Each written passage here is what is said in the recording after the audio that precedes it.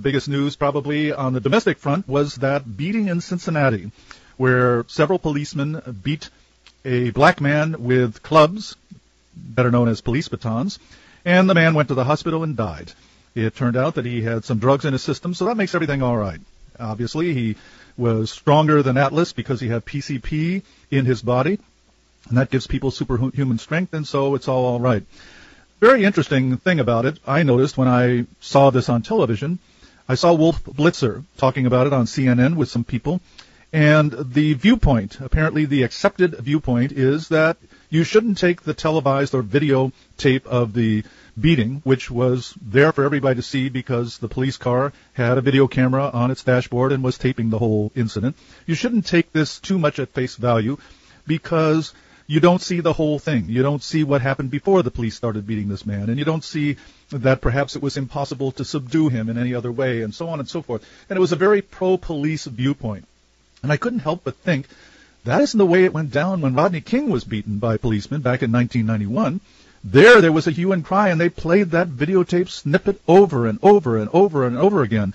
And the amazing thing was that when the policemen were acquitted by a jury in Simi, California, and the Los Angeles riots began, the television stations and the networks kept playing the video snippet over and over and over again as though to say, look, look, look at the injustice that has happened here. Let's go out and bomb some stores in Los Angeles. Let's beat up on some people. Let's uh, cause a riot here. Look at, look at, look at. Don't forget that this is what happened to Rodney King.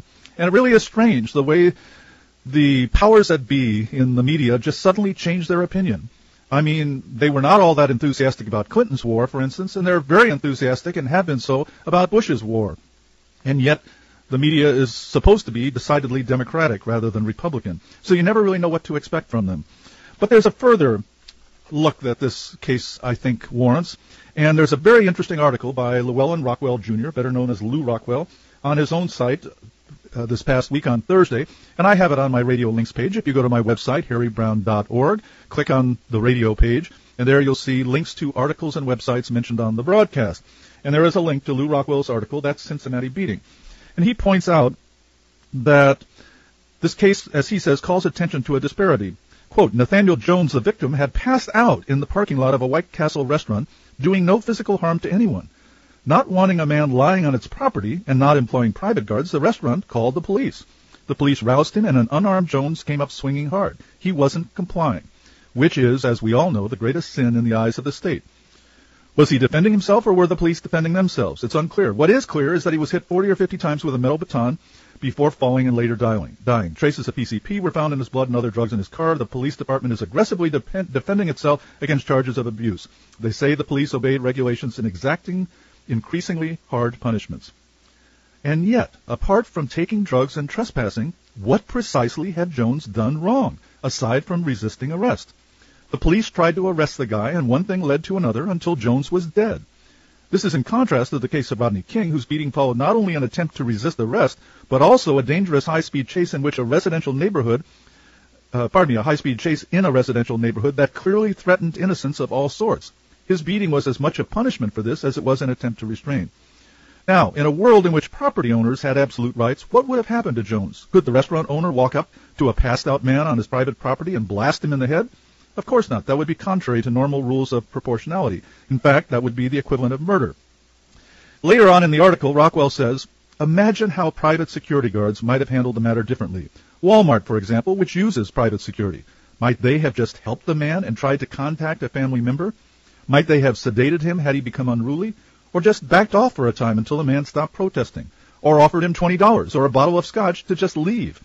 They would have at least understood that beating, let alone killing, people on company property is bad for business.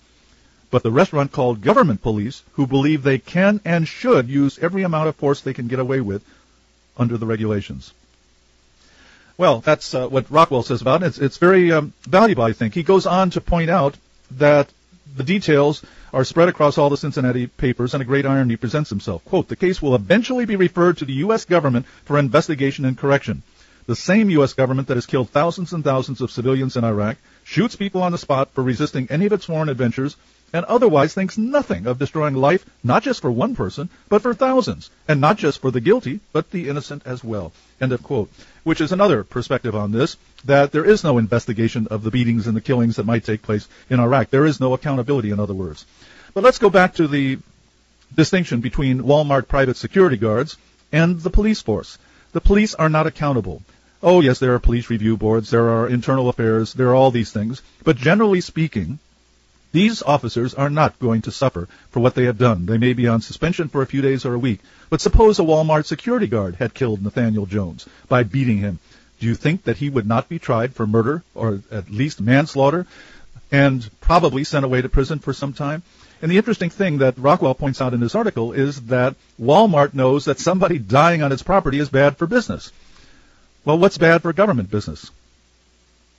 I'm sorry, I can't think of anything. There isn't anything that's bad for government business. Government overspends, government kills people, government sends people to prison, sometimes executes them falsely, and nobody ever pays the consequences for it. No one ever loses his job. No one ever takes a cut in pay. No one ever is tried on charges for these things. No one ever goes to prison for the mistakes that government people make.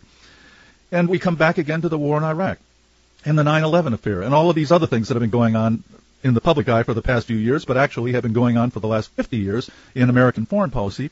And the question that I have asked over and over again on this broadcast, with the U.S. government collecting $2 trillion a year of our money, that's $2 trillion a year of our money, can't they come up with a better system of protecting us than just taking a club and going ar- around the world and beating people to death in Afghanistan, Iraq, and other places, Panama, Haiti, Nicaragua, all these places that our government has just gone out and killed people? Isn't there some way that for $2 trillion a year, we could buy the ideas of the smartest people in the world to come up with a better system of making us safe?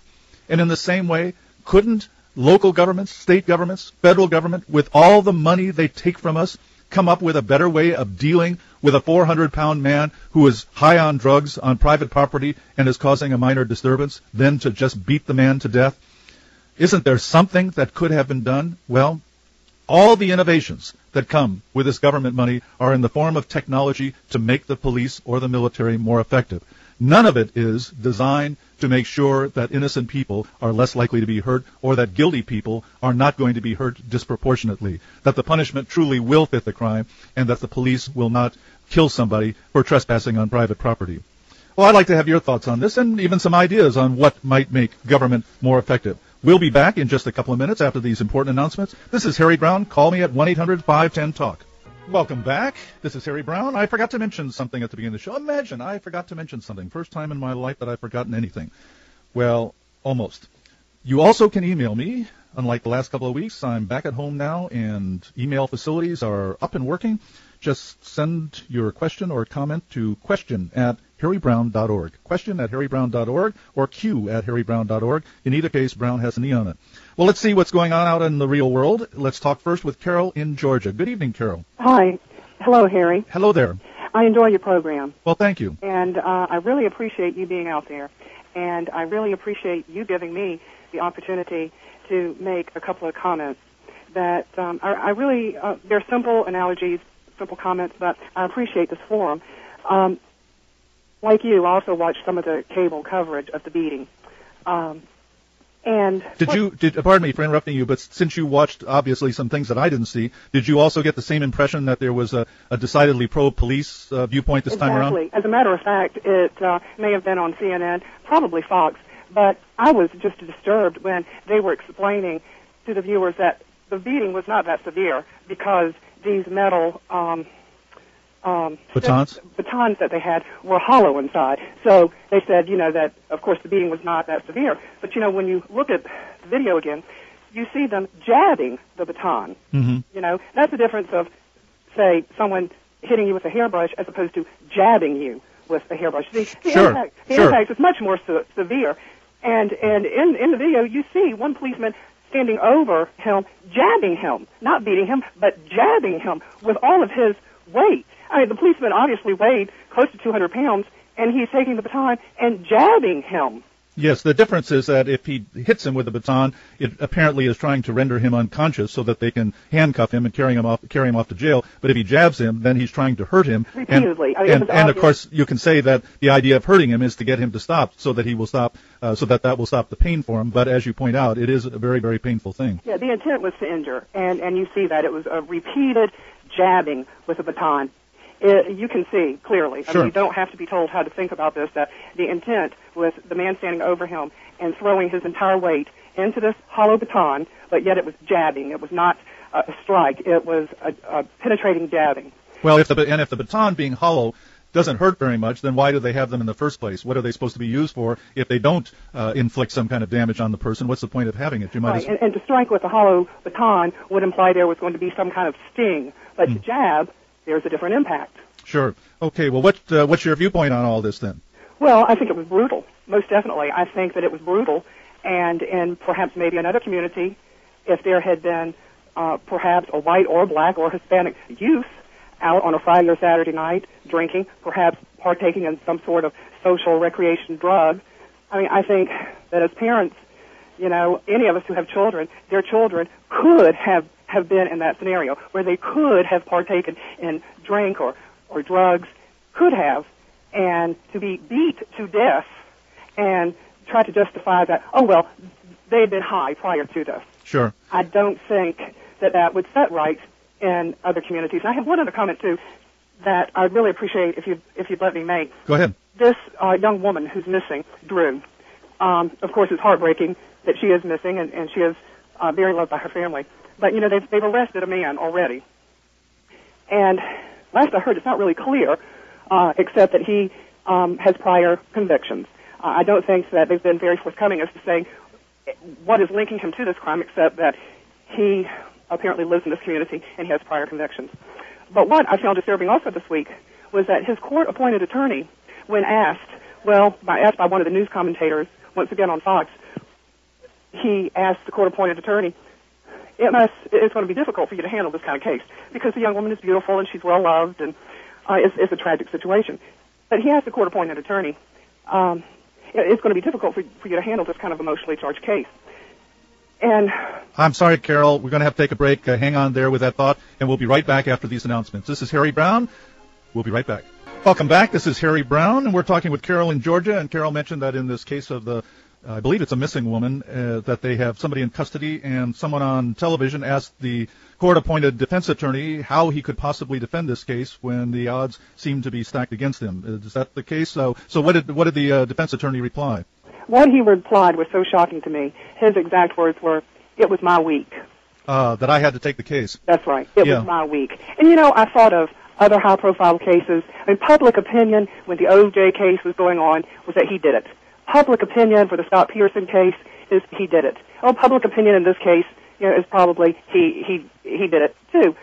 But you didn't see OJ's attorney, and you do, you don't hear Scott Peterson's attorney going around saying, it was my week. Yeah, sure. Well, that brings up two points. Uh, the first is, of course, that it is true that money is necessary to mount a good defense because the pros- prosecution can simply overwhelm the defense with all kinds of expert witnesses and various other things. And even though it is the prosecution's burden to prove the case, and if the person is innocent, he really shouldn't even have to mount a defense at all because it would be impossible for the prosecution to prove the case beyond a reasonable doubt since the person is innocent. That isn't true in practice, as we know, and judges, of course, can be very biased and can regulate what can be said and heard in a, a case and can give instructions to a jury. So it is necessary to have money to defend yourself. The second thing is the appalling lack of understanding about the rule of law, rules of evidence, and the Bill of Rights on the part of people on television. I have heard more than once people like Bill O'Reilly and Sean Hannity saying to some defense attorney, how could you possibly defend this case? The guy is guilty. It's dead to rights. And how do I know this? Because I saw the prosecuting attorney's news conference in which he said, we've got this guy dead to rights. And so that's all that I need to know. And I sometimes think to myself, why do we waste all this money on juries and trials and judges and so forth when all we have to do is ask Bill O'Reilly whether somebody's guilty or innocent and we'll get the answer straight from the right hand of God. Carol, thanks so much for calling. Thank you. Let's go now to Arizona and talk with Rex. Good evening, Rex. Yeah, good evening. I, I have a question for you. Sure. As a, as a citizen of the United States, do you not have a legal obligation to obey the commands of a police officer? If they tell you to stop, you're supposed to stop. If they tell you to lie down, you're supposed to lie down. If they tell you to put your hands up, you're supposed to put your hands up. Is that true? Uh, if he tells me to take my clothes off, do I have to take my clothes off? Uh, now, don't go to the extreme. No, I'm not. I'm not going to the extreme. What, what you're you- saying, what you're saying is that we have to assume that anything that a policeman asks me to do is reasonable. And of course, I would obey the policeman simply because I don't want to get my brains beat out. I don't want to be accused of resisting arrest. I don't want to get into any more trouble than somehow I've already gotten myself into by the mere fact that policemen are starting to issue orders at me. But the but to assume that the policemen are always right is the hallmark of a police state in which Okay, wait, the, wait, the government stop. can't do anything wrong. But that's not what I'm saying. I'm saying as a law-abiding citizen, and a policeman tells you to stop, then you obey the order. Yes or no? Well, I will, but only for self-preservation, not because I believe that the policeman has a right to order me around and tell me what to do. I don't believe that. Well, as a citizen of the United States and believing in the laws of the country and of, of the state. I'm sorry, uh, you've, you've lost you've lost me already. I don't believe in the laws of the country. There are all sorts of unjust laws in this country, and I do not believe in all of them. And if I were on a jury, I would vote to acquit in many cases, even if it could be proven that the person had violated a particular law. If I think that law is unjust, I am not going to tell you that I believe in all the laws of the country and that therefore I will uh, obey them all. I have violated laws in my life, and I have no shame about it whatsoever. I wouldn't be surprised if you had too, as a law-abiding citizen of the United States. There is no special sacred sense of the government in my mind. The government is force, and the government is political influence, and the government is power. And I don't look at that as some kind of sacrosanct agency that has a right to tell me what to do and that I have to just uh, meekly obey whatever any government official says. I will in many cases obey, but again, simply because of self-preservation, because I don't want to go to prison for 15 years. Well, let me clarify. But you do believe that if you don't agree with a particular law, you can campaign to have that law changed. Yes. And you Yeah, yeah, and a, and a, and a fat right? and a fat lot of good that's going to do. and I've been campaigning for 30 years to end the drug war in America, and a lot of good that's done me. Well, can you get enough people to agree with you to vote in your, you know, along with you? Can you get enough uh, lawmakers and legislators to agree with you, or are you are you are you su- suggesting laws that are totally irrational and unreasonable that the majority of people that they won't vote to support your concepts? I mean, come on, we live in a democracy. If if you've got an idea that makes sense and you can get 60, 70, or 80 percent of the voters to say, you know what, he's right, he's he's clear thinking, I totally support him, then you can change the laws. But you can't you, you can't just uh, say, look, I'm not going to obey the law. If you're going to not obey the law, you're going to suffer the consequences, and that's exactly what happened to this gentleman that was high on on uh, uh, on drugs.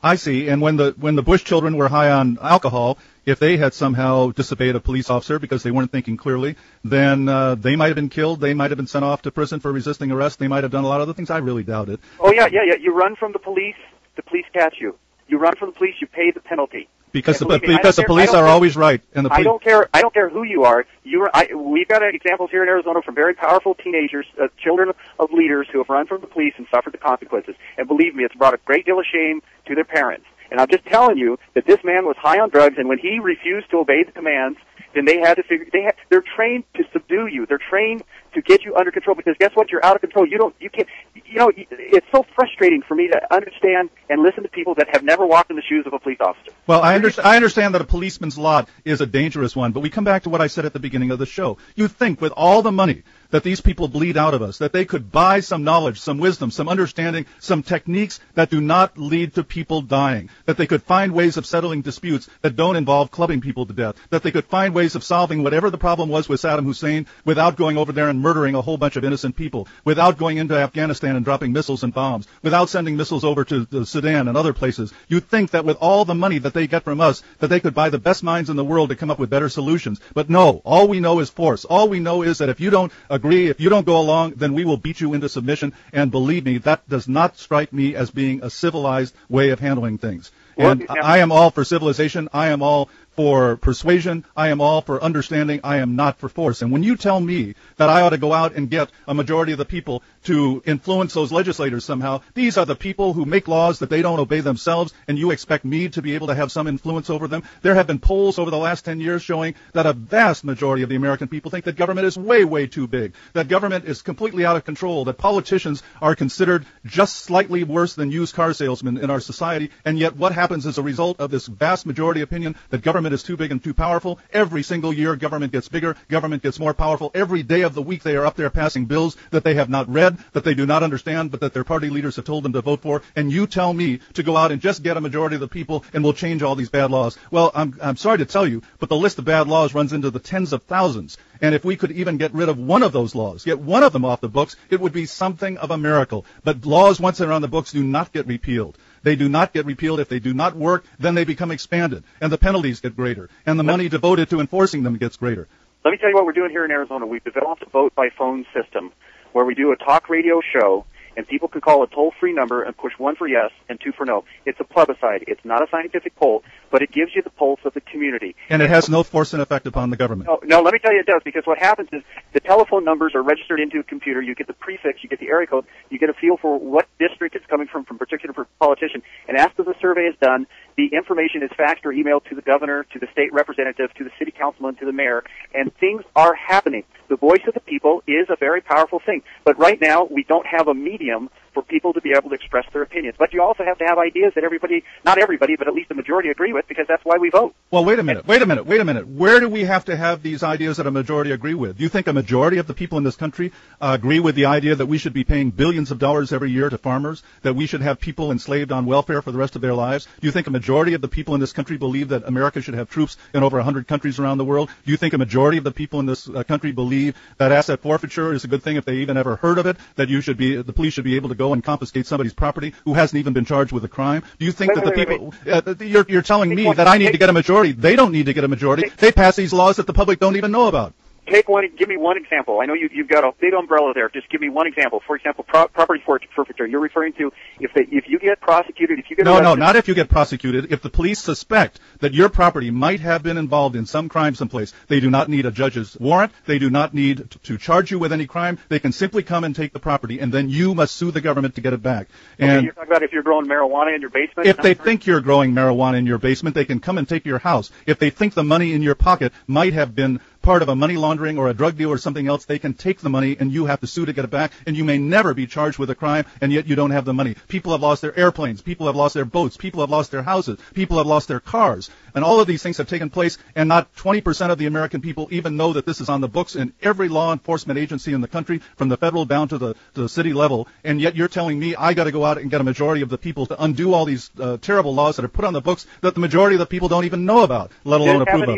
Did this happen to you? No, it's never happened to me, thank Did God. it happen to your? Did it happen to somebody you know? No, it's never happened to anybody close to me. You, you give us a case study. Sure, Donald Scott. Donald Scott uh, owned a ranch in Malibu. The police came in with a SWAT team and came in because they were going to confiscate his property. Scott woke up in the middle of the night, got a gun, ran downstairs, and was shot to death. And it turned out that they got an anonymous tip that he was growing marijuana on his property, and they appraised the property before they decided to make the raid on the house. Scott is I'm familiar with dead. that one. Well, there are hundreds, if not thousands, of cases like it. Yes, we'll be right back after these messages. Thank you for calling, Rex. I appreciate your viewpoint. Let us go now to New Orleans and talk with Mark. Good evening, Mark. Yes, how you doing, Harry? Now, you know there are two of us in New Orleans, Mark in New Orleans. I know, and the other Mark is on the line too, waiting to be heard. I talked to him a few minutes before I dialed in anyway, so Oh, okay. we know each other. Okay, uh, I don't have all the details because I did not clip it out of the Times Picayune. There was an article this past week about a police brutality case back last this past summer by NOPD. And if that cop lover in Arizona, or he might be a cop himself, I don't know, but uh, the, the, the victim here in New Orleans who lives here in New Orleans is also originally from Arizona, coincidentally. Huh. Okay, this What a small world. Right, exactly. Well, this happened this past summer.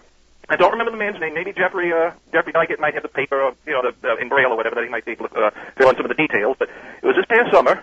Uh, he was in the French Quarter. It was a Saturday night.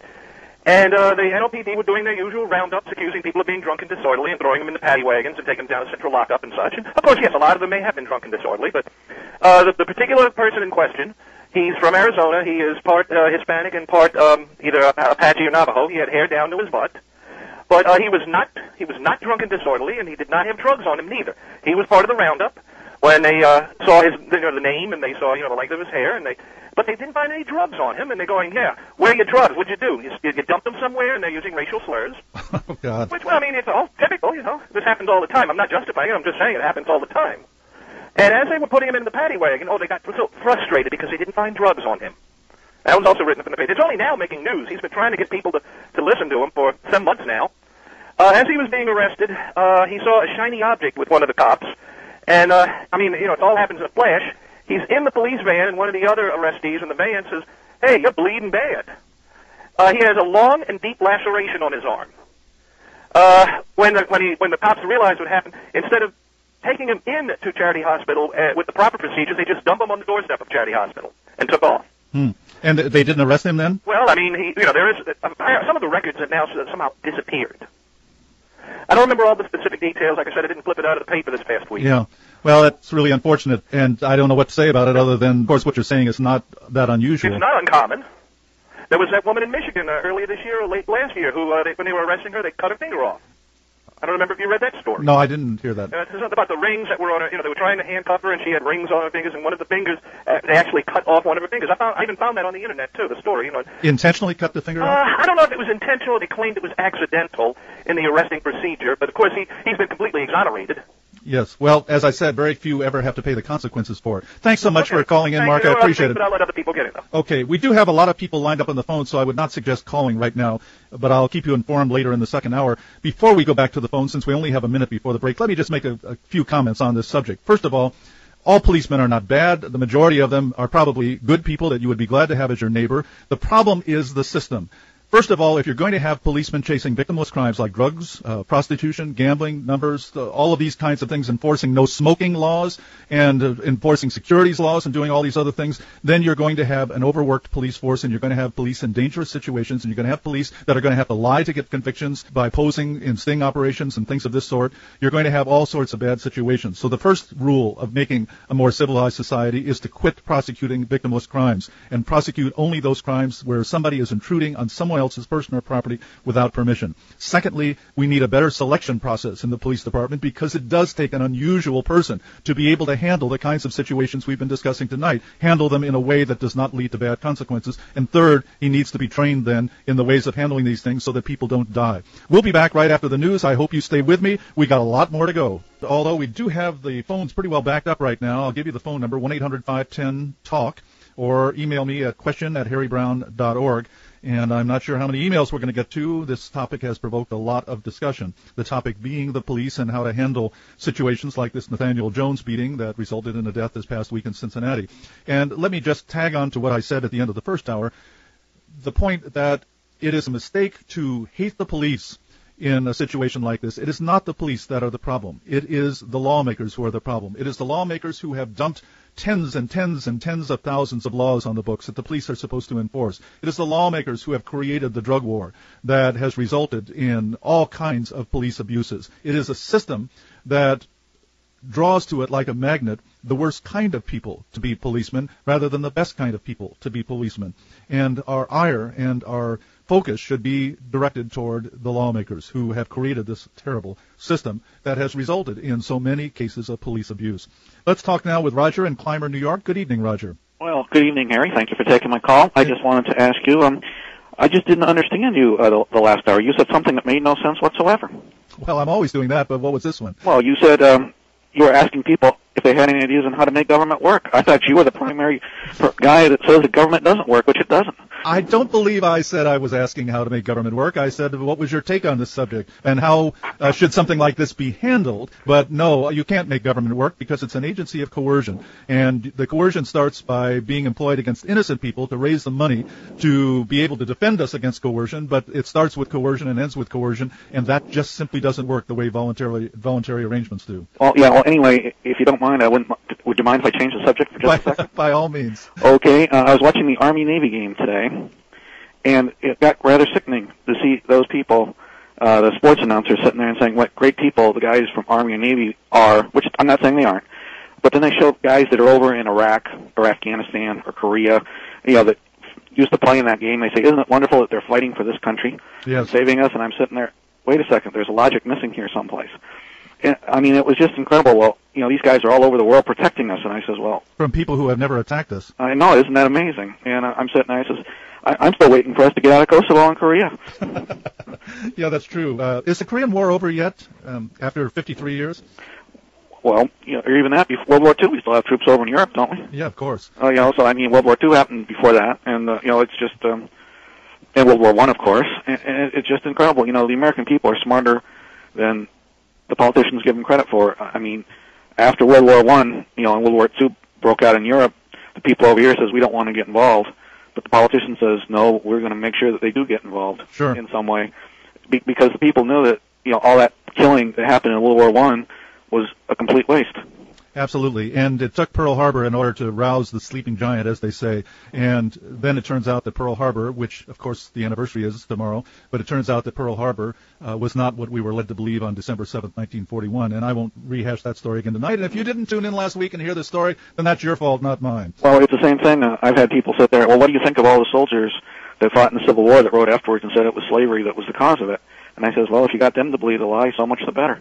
Yeah, of course. You, well, there's a cer- to a certain extent, it is necessary that somebody who is risking his life, even if he's a conscript, has to believe that there is some higher purpose in all this, that there is some good to come out of it. And one of the things that happened at the end of the First World War was this tremendous sense of disillusionment, this feeling of, oh my God, this insane killing that took the lives of literally millions and millions of people who were just slaughtered, men jumping out of trenches and being mowed down by machine guns. It had to be for something. And when they realized that it wasn't for anything, that no good came out of it whatsoever, and a great deal of bad came out of it, such as the rise of Hitler and the rise of Lenin and Stalin, then there was this tremendous sense of disillusionment, which made World War II very, very difficult to sell, especially in America, and that's why it was necessary to bait somebody into attacking the United States. Roger, as always, thanks for calling. I appreciate your comments. Let's go now to Bill in Arkansas and see what's on his mind. Good evening, Bill. Hello, how are you? I'm just fine. What's Great. up?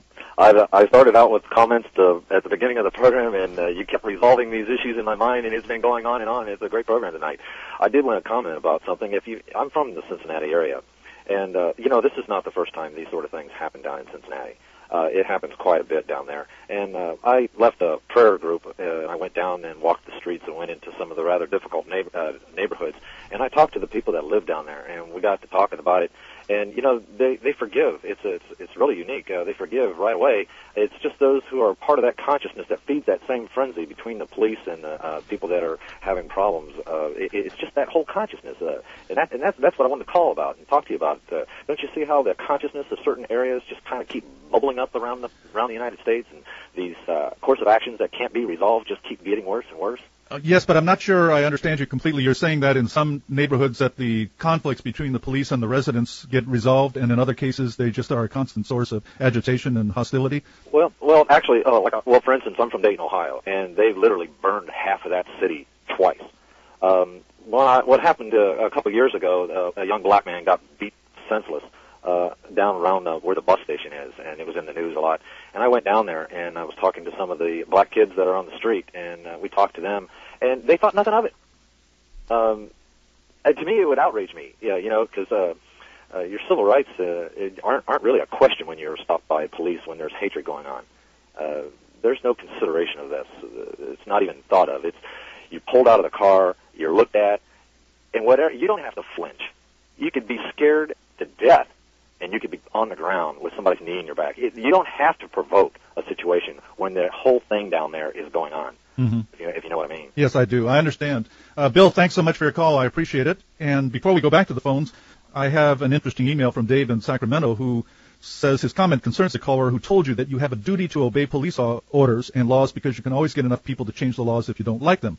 Aside from the impracticality of changing laws, which you already explained, your naive caller makes another error. He assumes that whatever the majority says is morally right. Murray Rothbard, the economics professor, reduced this position to absurdity by saying, well, what if 80% of the population voted to kill the other 20%? Would that automatically make it right to kill people in the 20% group? Of course not. Therefore, majority rule can't possibly be the criterion for what is morally right. Rothbard points out that Hitler and the Nazis rose to power through a perfectly democratic process. So by the reasoning of your caller, we can't say that Jews and others killed by the Nazis were murdered. We can only say that these victims committed a sort of democratic suicide by living under a democratically elected regime that wanted them dead. And finally, Dave says, I want to correct your caller on a very common fallacy he made. He said you have a duty to do whatever the cops tell you to do. You said, so if they tell me to take off my clothes, I should do it. He then accused you of using an extreme example. That's exactly what you were doing. You were using an extreme example to show that the caller's sweeping statement was false. The mere fact that a counterexample is extreme is not a weakness of that counterexample. It makes it stronger and even more persuasive. I wish your caller would take a course in critical thinking. Uh, well, that's true, and the fact that the counterexample seems to be sweet, uh, extreme is really pointing out the extreme nature of the statement that was made in the first place, the sweeping assertion, in this case, that you have a duty to obey the police. Well, let's talk now with Chuck in California. And my apologies to the others who are still on the line. We're going to get to everybody tonight, one way or the other. Chuck, good evening. We have just a minute before we go to the break, but I'd like you to get us started before we well, go to the break. I have two thoughts. One I can handle in a minute, and one I would like to deal with a little bit longer. Okay. A libertarian friend of mine pointed out to me the solution to the problem that you're asking for tonight, Mm-hmm. and that is if policemen were to be viewed as peace officers instead of law enforcement officers. Then the job of the police would be to make peace in a given situation and not uh, look in the law book to see what uh, law this guy's uh, disobeying so they can pound the hell out of him. Right. I understand what you're saying. Well, in many cases, they do refer to them as peace officers. Unfortunately, it's just not taken seriously. It's like calling our armies the defenders of freedom when they're over there taking freedom away from people in other countries. Chuck, uh, hang on, and we'll get to your second point right after we come back from these important announcements. This is Harry Browne. I'm so glad you decided to stay with us tonight. We'll be back in a couple of minutes. Hello again, Harry Browne here. Before we go back to Chuck in Arizona, uh, pardon me, California, I got a message from Dave in Phoenix, Arizona, which I am really surprised to read. He says I haven't kept up recently, but USA Today on Wednesdays and New York Times on Sundays in the recent past would print two full pages each week in fine print of asset forfeitures for just that week. I would estimate that there were a couple hundred examples listed in these papers each week. Well, I didn't know anything about that. I haven't been reading newspapers for years. I've been getting all my information off the internet. I'm going to CNN, New York Times, Washington Post, other places on the internet. I haven't subscribed to a newspaper in several years. In fact, I quit subscribing to hard copies of magazines. If anybody knows about this, about USA Today or the New York Times printing asset forfeiture cases once a week, I would certainly like to know more about it. So please email me. You can email me question at harrybrowne.org. Browne has an E. Or call in next week. Calling in this week would be too late because we still have a lineup of, of callers waiting. And my apologies to everybody who has been waiting on the phone. We're going to get to everybody tonight, or I'm going to die trying. And well, I don't live in Cincinnati, but I'll still die trying. Chuck, are you still with us? I'm here. What's up now? You had a second. Well, the guy that uh, was uh, saying that you should obey the police. Mhm. Uh, there's two comments I'd like to make about him. I think he is a policeman because he made a comment about uh, he's really disgusted that people uh, do not are not able to you know walk in a policeman's moccasins, so to speak. Sure. And secondly, he said, in a democracy. Well, this is not a democracy, and it was never intended to be a democracy. In fact, the Constitution was written for the express purpose of preventing democracy, Of as the founding fathers clearly pointed out.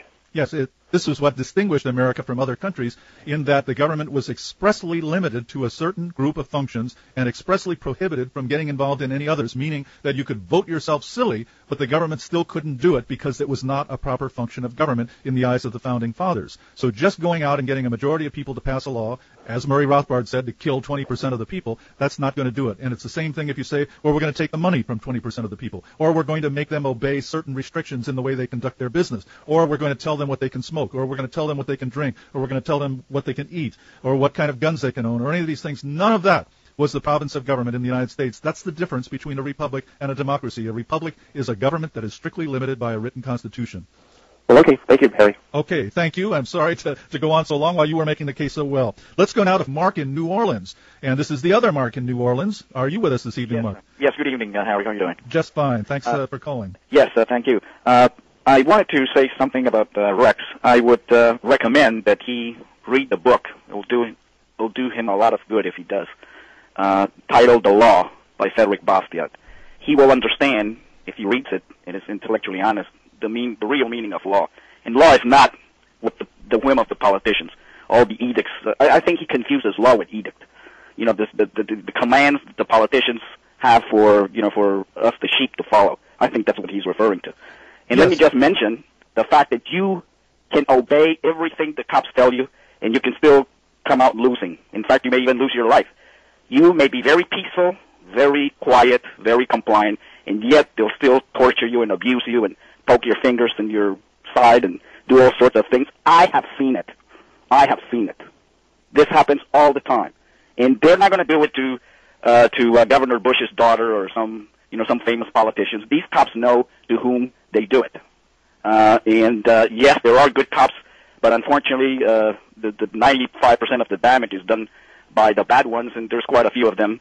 And uh, uh, unfortunately, we don't have uh, you know civilian review boards anywhere to uh, in in the United States. I believe uh, you know they've disappeared because uh, you know the fascists have you know uh, have won all all the way around, and you know they have been eliminated and wherever they have existed. But I wanted to mention something about the you know this most uh, very recent Supreme Court decision about the Fourth Amendment.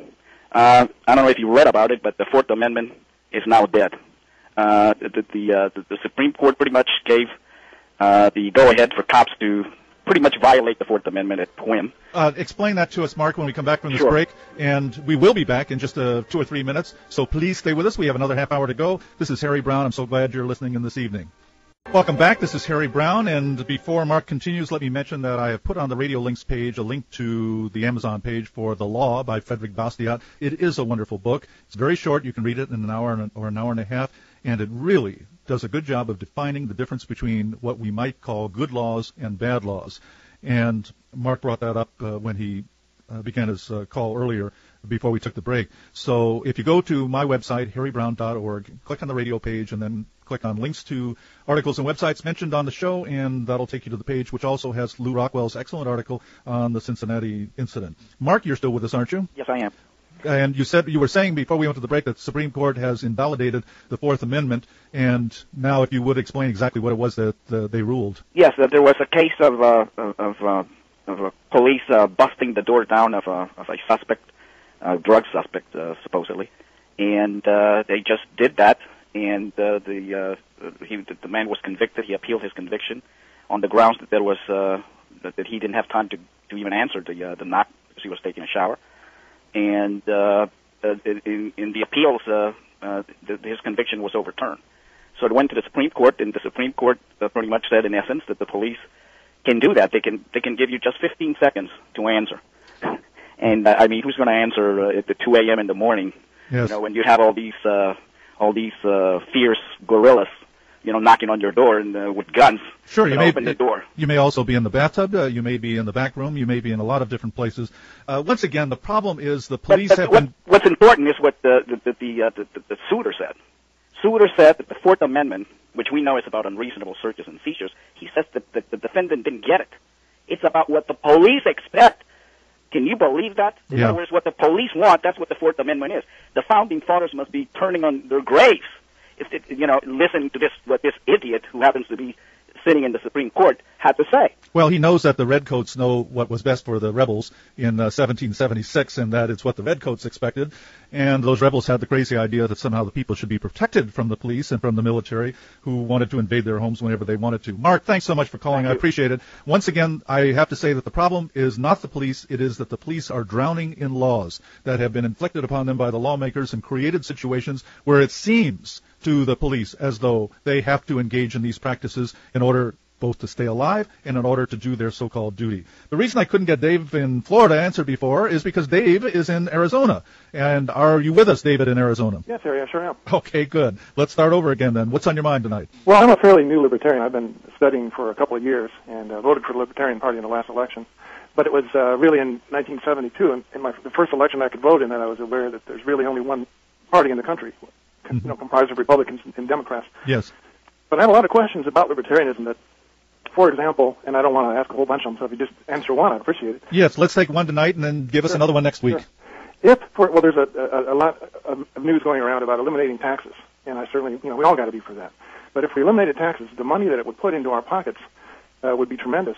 But what about all the people that would be unemployed as, as we eliminated government work? You mean the government employees? Yes. Well, of course, the more money that's in private hands, the more demand there is for private services, and the more private services will have to hire more people to take care of the demand that comes from the people that now have more money to spend. And you can think that this might take a transition period of two years, three years, five years to ease it so that people are not wrenched out of jobs and so on. But the fact is the free market works very, very quickly, and especially in these days of instant communication. It's, there's an in- interesting example of this. At the end of the Second World War, there were 10 million Americans in uniform fighting the Second World War. When the war ended, Congress started to debate how are we going to make the transition of these 10 million government employees to the private sector. We've got to have some grand plan to make this possible. And the Republicans and the Democrats debated and argued about this. In the meantime, nine or nine and a half of the 10 million people were mustered out of the service. They all found jobs. The economy took off like a bandit, and everything was all right simply because they never got around to passing a transition program to take care of these 10 million people getting out of the service. So you're saying the economy can grow without war, right? Oh, absolutely. War destroys the economy. Let's bring our troops home, and then we can lower the taxes. I'd be all for that. Well, you got it, David. I'm all all the way with you on that. Thanks so much for calling and stay with us and come back next week with more questions. Ben in Idaho, good evening. Hi, Harry. How are you this evening? Oh, pretty good. And I, I called in. You must be awful busy tonight. We are, and that's very nice. We hot topic tonight. Well, well, a few things uh, on your first caller from uh, Phoenix. Uh, Uh, my uh, professor 40 years ago in government political science 101 described America's form of government as a democratic federated republic.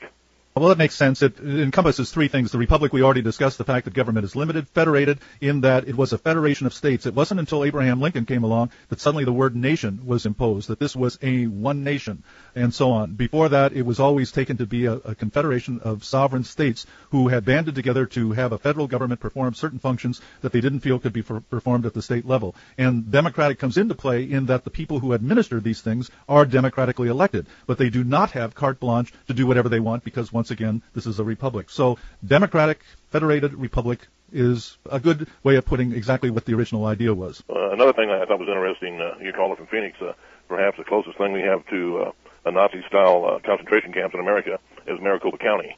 And the sheriff's department, uh, the prisoners Oh. live out in tents. Is that the one where the tough love uh, sheriff that that was in the news five or six years ago? it's terrible. what, what goes on there, uh, you know, if, if you take uh, any of the, the Phoenix newspapers, I don't think a month goes by that someone isn't uh, uh, beaten to death in the prison uh, uh, by, by the sheriff's deputies. Uh, it's, uh, you know, it's a real scary thing. So bad when I lived in Arizona, I, I was always afraid uh, breaking down on the highway going through Maricopa County. You know, Ah, yes, it, like, like a bad movie, right? like a bad movie. Another thing too about good news. One of the things that was uh, I'm, I'm calling from Idaho. I'm a Montanan, as I think you know, and uh, one of the best things that ever happened in the legislature of Montana happened about 20 years ago, and the legislature of Montana made it illegal for any unit of Montana government, county, city, state, uh, to uh, arrest anyone for public intoxication. really? And uh, oh, that was really promoted by American Indians. That was one of the, the great games that was played on a few off reservation towns. Was uh, wait till uh, the per capita checks came in and and uh, middle-aged elderly Indians walked into town and and got drunk, and you know they had you know 150 dollars on them, so you would uh, arrest them and set the bail at 150 dollars Mm-hmm. or whatever. and uh, Fin- finance the local government. yeah, finance local government, and they just outlawed that. And the only way that you can uh, arrest anyone under public intoxication is if they're breaking some other law, like attacking someone, driving drunk. Sure. But just to be, uh, it doesn't say alcohol, just public intoxication is not Right. a crime in Montana as of circa 1980, 81 in there. which would apply to drugs as well. Very interesting. Uh, well, we only have 49 more states to go. ben, thanks so much for your call. Always good to hear from you. Thank you. and let's go now across the street in Tennessee here to Barbara. Barbara, I'm sorry you've had to wait so long this evening. That's okay, Harry. It's so good to talk to you. I, I listen to your show every week. And uh, I just saw on uh, my email, Freedom Hour, you're going to be in Atlanta Yes. uh, in, in January. When- You're always so far away, I've never had the opportunity to see you. Um, what part of okay. Tenn- what part of Tennessee are you in, Barbara? Chattanooga, Tennessee. Oh, Chattanooga. Yes. Mm. Okay. Yes, I should mention for the benefit mostly of me, but also for the benefit of the other uh, people listening to the show that Michael Cloud and I will be conducting a libertarian persuasion seminar. I believe it is the weekend of January 23rd. I don't have the information in front of me. Your, your emails are 24th and 25th. 24th and 25th, a Saturday and Sunday. It'll be in Atlanta, Georgia. And if you would like information about that and don't get my Freedom Wire messages weekly or so, then just send a, a note to me at question at harrybrowne.org, and I'll be glad to send you the information on it.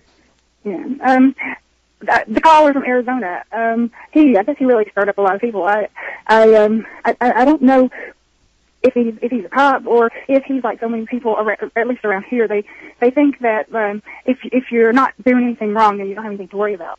But um, in the, our local paper last week, there was a man um, uh, driving from here, from local man.